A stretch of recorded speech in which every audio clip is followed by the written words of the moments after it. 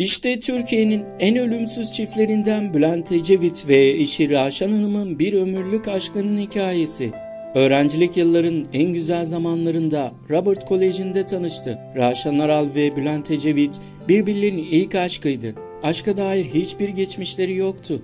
Zaten gelecekte de birlikte görünüyorlardı. Mezuniyet sonrası hiç vakit kaybetmeden evlenmek istediler.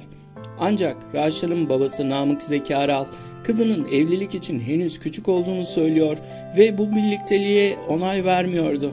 Bülent Ecevit Ankara Üniversitesi'nden mezun olduktan sonra Londra'ya basın ateşesi olarak atandı. O dönemin Bülent Ecevit'i yaklaşık 80 sterlin maaş alıyordu. Hiç öyle refah içinde yaşadıkları bir hayatları yoktu. Buna rağmen sanat etkinliklerini hiç kaçırmıyorlar, sergilenen bütün oyunlara gidiyorlardı. Hatta bu sanat sevgisi onları bütçesinin sarsılmasına sebep oluyordu.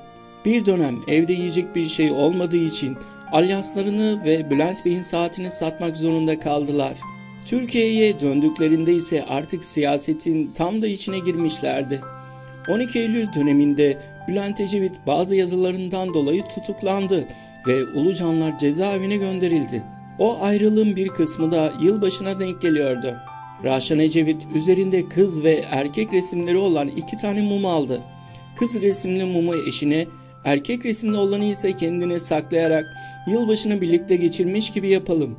Bu mumları aynı anda saat gece yarısı 12'ye 5 kala yakalım dedi eşine. Ecevit cezaevinden çıktıktan sonra eşinin verdiği mumu saklayıp evine götürdü.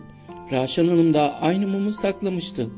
İki mumu yan yana koyup yaktılar ve bundan sonra o mumları hep yapmak için söz verdiler. Hatta birisi diğerinden önce ölürse kalan kişi mumları yakmaya devam edecekti. Ölüm Allah'ın emri.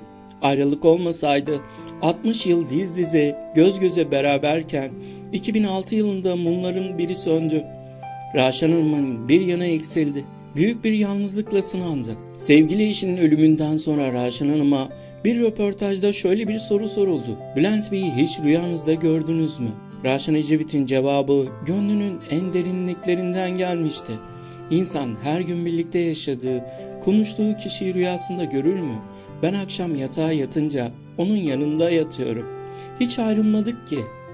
Geriye Bülent Ecevit'in sonsuz sevgiyle bağlı olduğu, Raşan Hanım'a yazdığı dizeler ve unutulmaz bir aşkın öyküsü kaldı.